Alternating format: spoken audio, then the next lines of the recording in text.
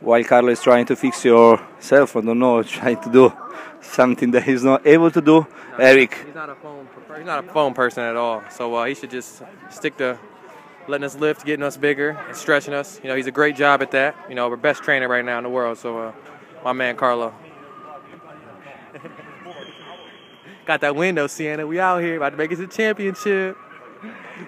And talking about the game, man, uh, it was a very tough game the first half. Then you you had a great third quarter, but the way you stayed in the court from the first to, to the to the last minute was very good.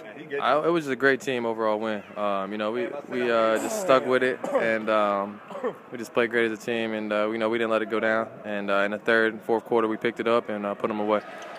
One move you made at the end of the game, the, all the bench were were jumping. One was Carlo for sure. Then we will see on TV, but uh, how you take out this this stuff. Uh, it was a great move. Um, you know, just doing footwork, uh, half spin move, and just nice shot to go in. Um, you know, something I always just have been able to do since college, and uh, used it here, and it worked out great. Damn. Damn.